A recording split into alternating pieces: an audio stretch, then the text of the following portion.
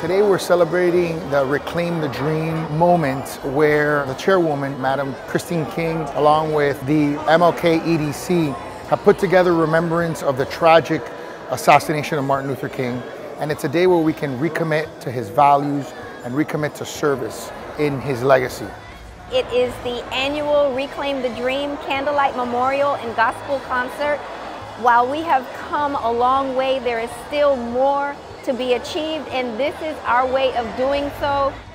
This year, once again, we've all gathered to celebrate the legacy of Dr. Martin Luther King Jr.